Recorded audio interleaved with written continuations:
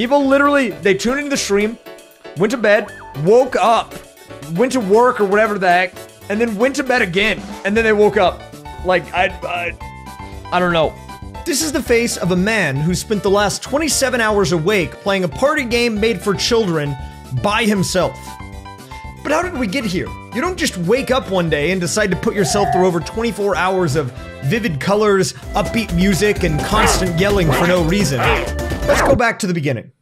In late spring of 2023, a Mario speedrunner by the name of Squeex attempted to beat all 100 minigames in Mario Party Superstars against Master Mode computers, the highest difficulty, as fast as possible. In that run, he beat all the minigames for the very first time in 6 hours, 56 minutes, and 46 seconds. During this run, he had a conversation with a small YouTuber by the name of Ludwig. Hello? Hey, bud. This is where I come in, sort of. Squeex at the time claimed that there was no way that Ludwig could possibly beat his time, You really don't think I could beat you? No, there's no way you can. but little did he know that five years prior, the very same Ludwig had been tuning into my own streams where I would speedrun Mario Party 2's very own version of this challenge, the minigame coaster, and talked with me about strats for the run. Shortly after that, Ludwig got involved in the speedrunning scene himself and went on to claim the Mario Party 2 minigame coaster world record. Fuck yeah! That's it! Let's go! In fact, if you go to Ludwig's YouTube channel, you'll see that one of the first videos he posted on his rise to the top of the creator space was this run. He had been a Mario Party veteran from the very beginning. So, what does all this have to do with that clip at the beginning, or even the title of the video? Well, let's just say Ludwig didn't take kindly to such a claim by Squeex, and for many weeks, the two battled back and forth over this all minigames challenge, constantly driving both of their times down.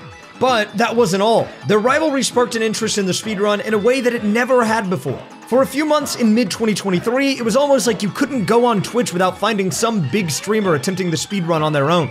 A few months after that, Ludwig held his very own $1,000 Mario Party World Cup, with four big name creators and active speedrunners of the game competing to win a pretty hefty sum of cash just from being good at a few minigames. Oh, I'm dumb. Was it last? Yeah, far left. What? Oh.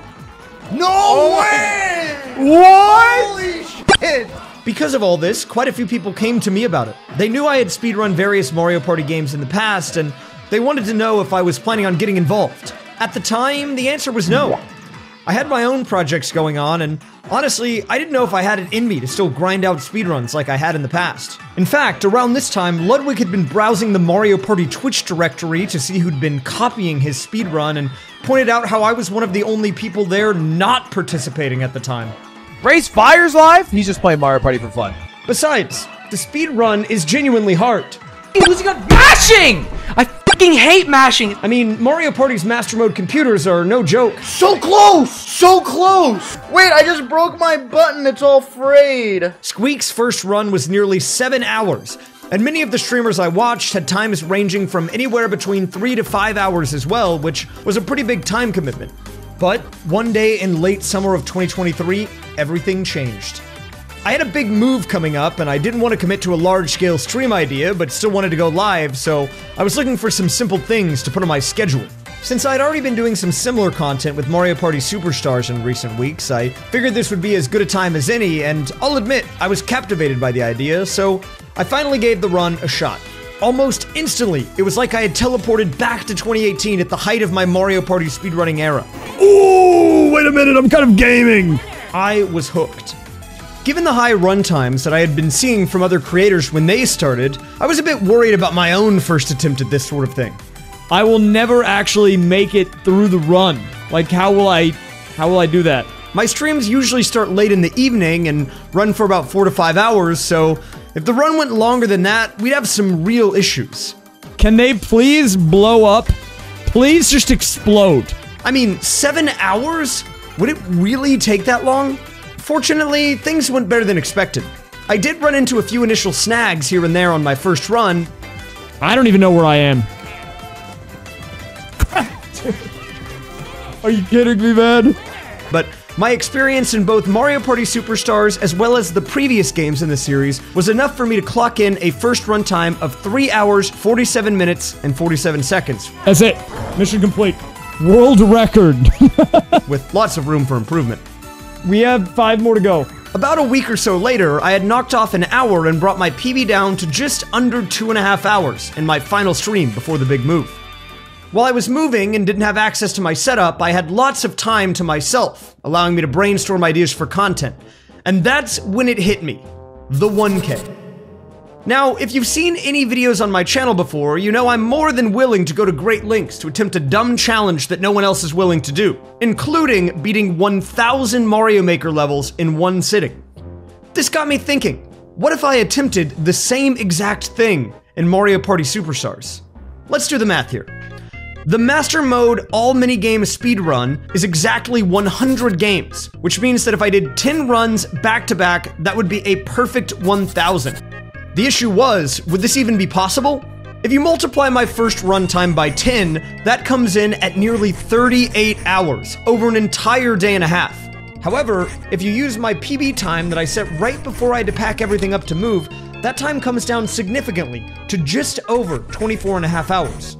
If I lower my time by just 5 more minutes down to a 222, that brings the runtime down to 23 hours and 50 minutes, or under one full day. It would be a long shot, and I would need to improve a lot, but just maybe I could pull it off. About a week later, after getting everything set up at the new place, I returned to streaming with a renewed interest in the speedrun and quickly threw the idea out there to my chat. While most people were supportive, there were understandably a few people skeptical of the idea, given especially how new I was to the run. But I really wanted to pull this off, and I figured a big stream like this would be a great way to break in the new place, so I got to work. Week in and week out, I grinded the run, doing my best to absorb as many strategies as possible for individual minigames, including spending an extended amount of time playing some of the more tricky games in the run. I'm looking at you and your five second music loop, stick and spin. I mean, seriously? You guys created a whole game out of this with 99 levels, and there's only one song? Oh my god, I can't take it anymore. Please make it stop. I'm gonna lose it if I listen to this song one more time. Oh my god, turn it off! After a few weeks of practice, I ended my final run with a PB time of nearly 2 hours and 20 minutes. Very good, Peach. Close it out, close it out, close it out, close it out. Big. Uh, 222.03. Very nice. Pretty good. Okay, how many how many sec or how many minutes is this PB? 142 times 10 divided by 60. bringing my estimate down to under 24 hours for the first time. This time wasn't great, but I was confident in the practice I had put in and knew that my time would likely go even further during the event itself, so I felt confident. I can do it in under 24 hours. I just need to do that run 10 times. It was time. On the morning of August 19th, I woke up ready for action. I hadn't gotten as much sleep as I had wanted due to some last minute review and prep on some of the mini games I was most concerned about, but I felt confident that the adrenaline of the run would be more than enough to get me through it. Despite this, I could still feel there was a part of me that was uncertain about it. While I had done many lengthy challenges like this in the past, they all had fairly predictable end times. With this, all it would take would be a single bad run to push me back beyond the 24 hour mark, and honestly, I wasn't certain how much past that I'd be able to manage. But as I was in the shower getting ready for the big stream, I heard my phone go off. When I picked it up to see what it was, what I saw was something a bit unexpected. I had been tagged in a tweet by the 8 bit drummer. He had been keeping up with my prep himself, and he did an entire drum cover of the best minigame song in the world just to hype me up on the big day, and it worked. I mean, just listen to this. It slaps.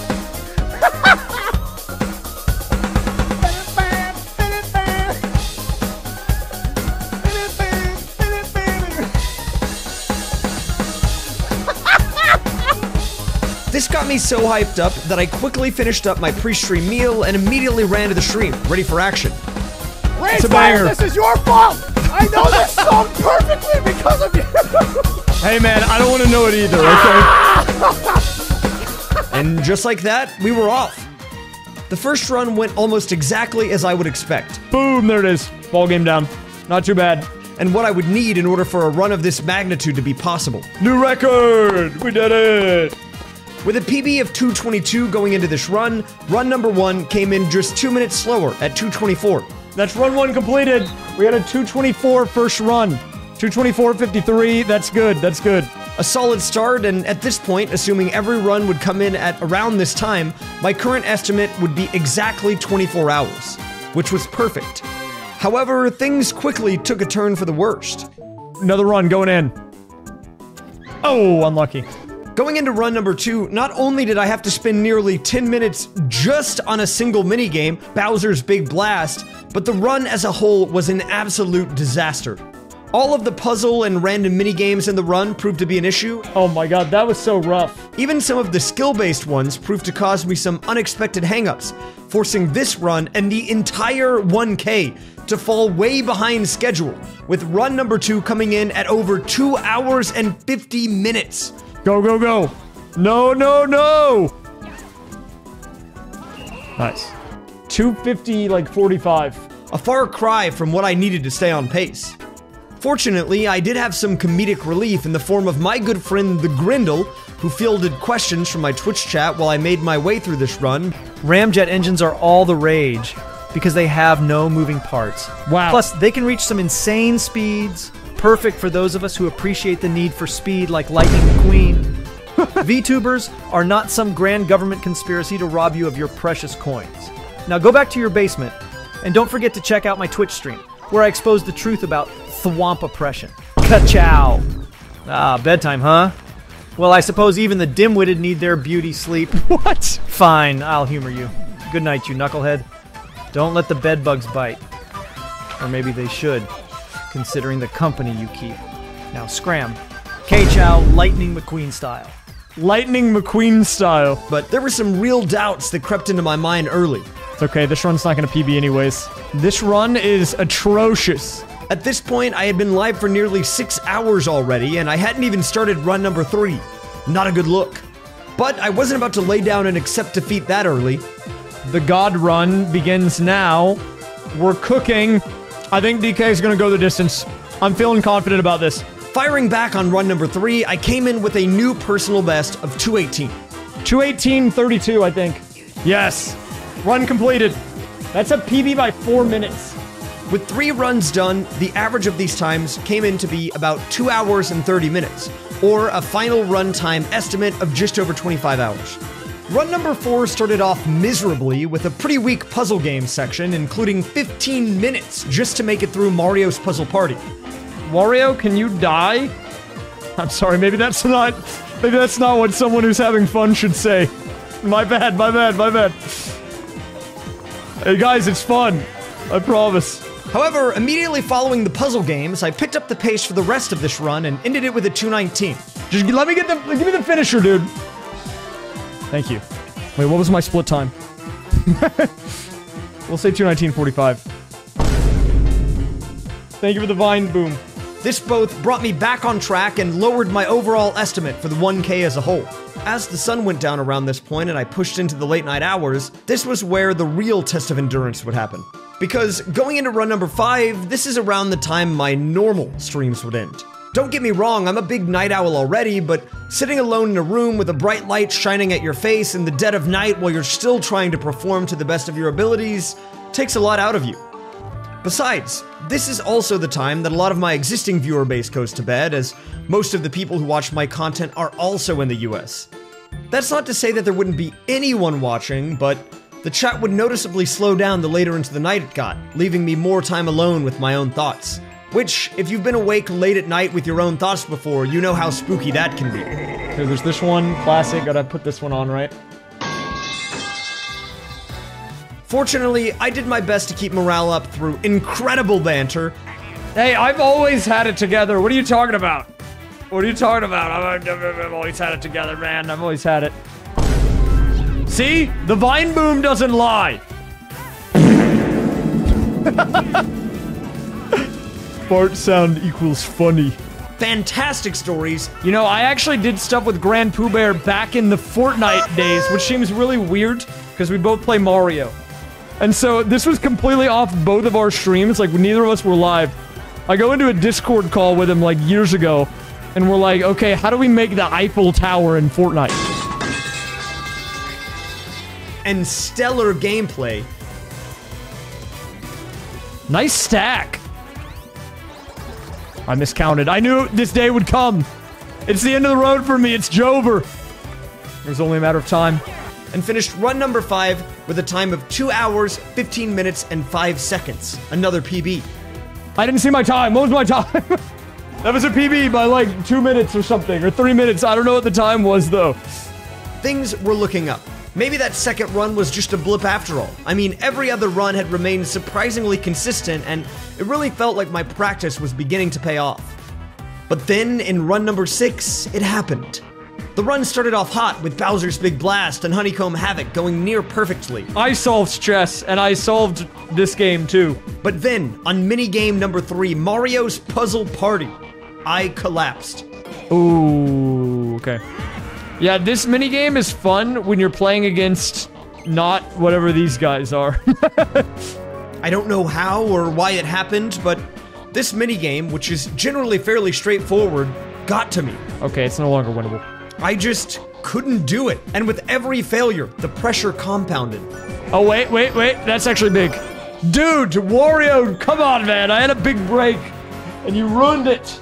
At this point, it was the dead of night, and with still over 400 minigames to be played, I sat there in disbelief Dude, Wario is broken. as the timer continued to count upwards. 10 minutes, 15 minutes, 20 minutes, 25 minutes, and after nearly 30 minutes, finally, I made it out. Okay, now we have two more awful puzzle games to get through, but at least one of them is a ball game. But the damage had been done. I did some quick mental math in my head, and if every minigame in this run took as long as that one just had, this run would have taken me nearly 500 hours. A far cry from the 24 hour estimate I was hoping for.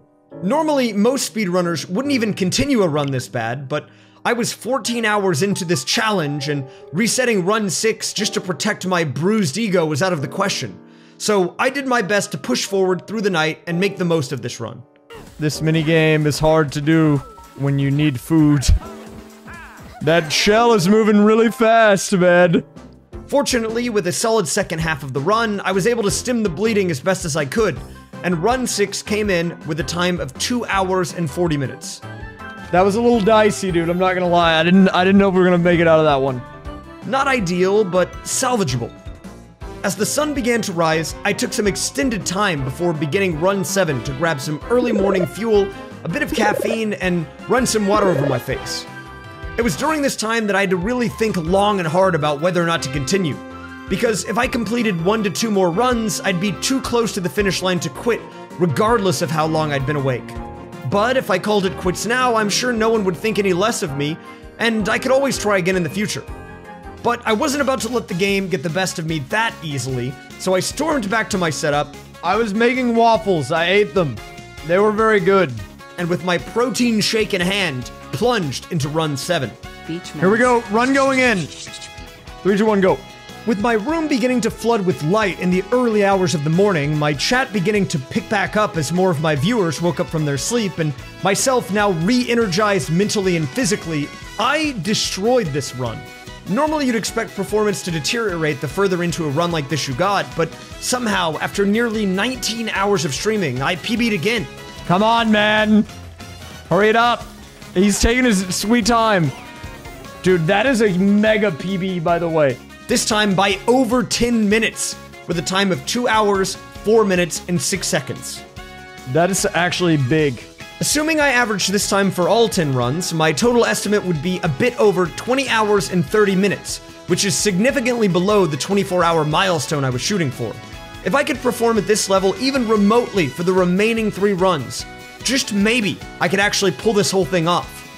Well, my advice to your precious rays is simple: get good, scrub. Speedrunning ain't for the Okay, faint dude. of heart. Run 8 went similarly, coming in at a 210.18. 21018. That's not bad. That's that run completed. Had this run happened before run 7, this would have also been a PB. I'm not sure if it was the break I took after my brief collapse on run 6, the third energy drink that I had put into my system at 7 a.m., or the talking grindle that I had stayed up late programming for my chat the night before. I suppose the great minds at Twitch finally realized They couldn't handle the magnificence that is my stream. Don't fret, my dear friend. I'll find another platform to showcase my brilliance. In the meantime, I'll be waiting for you to apologize for not checking out my stream sooner. Ka-chow. Dude, he's going to kicks.com. We've lost him. But it felt like the further into the stream I got, the better I did, which is the opposite of what you'd expect. With only two runs left to go and the sun now fully up, the finish line was officially in sight.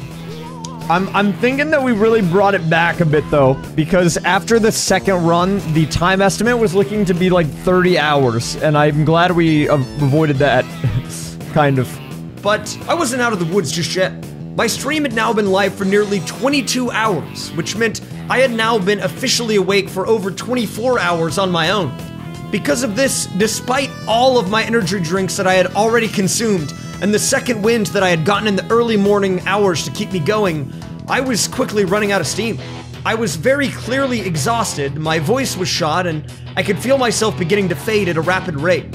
I, I almost forgot to show that guy's cat. And then everyone would have been up in arms about James Bartholomew the Third, the Fifth, the Wacky and Knuckles Ultra HD remix. Like, let's say some dude asked him about like his opinion on, you know, politics or some some political issue, and then someone's like, "What's your favorite animal?" And he's like, "Well, I already, I was already talking about, I was already talking about animals. Are you trying to change the subject on me, or whatever?" You know, he's he's done that type of thing before, where like he'll like be distracted by what you're saying now because he's too caught up on what someone said before.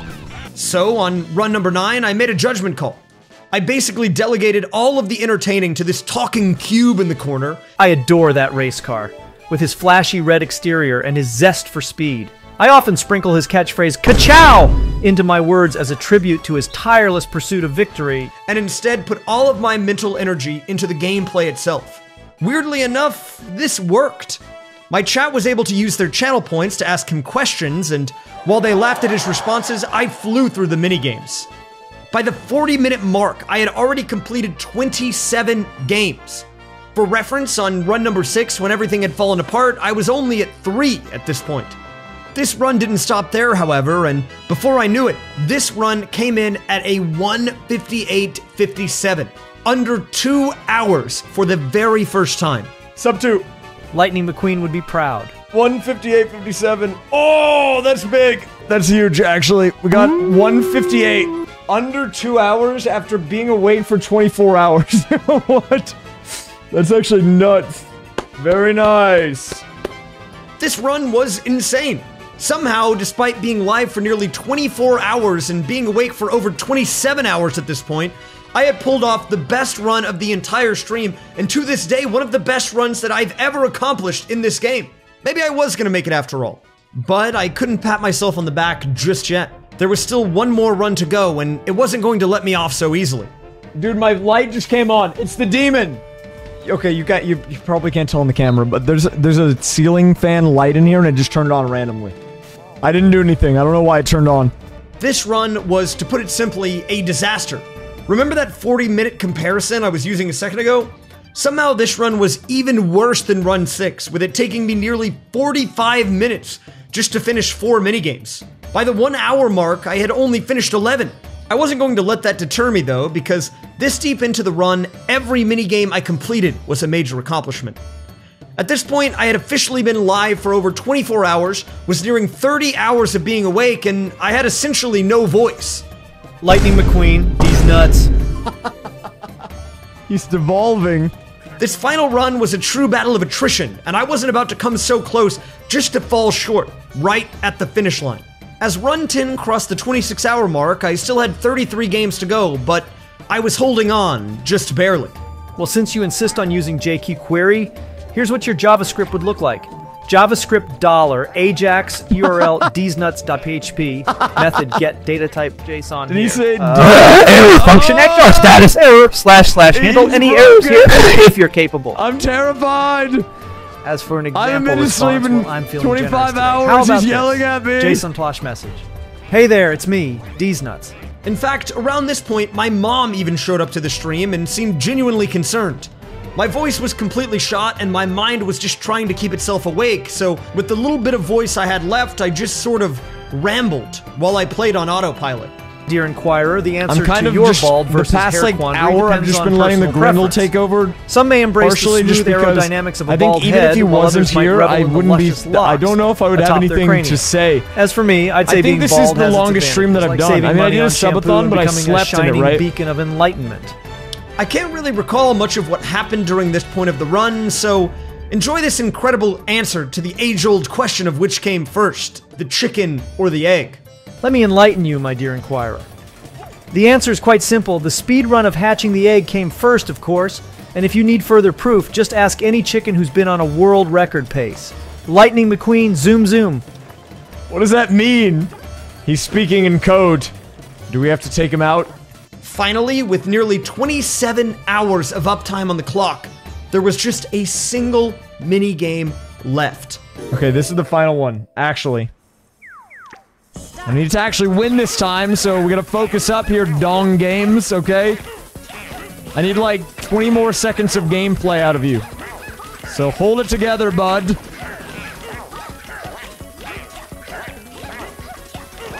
How did I lose? This game is not that hard. I think that's why I, I skipped it. I was like, surely I won. I blame DK. Looks like a DK skill issue. Okay, that should be it. Let me make sure I win. We've done it. That's the last one. That was it. 26 hours. Somehow I had pulled it off.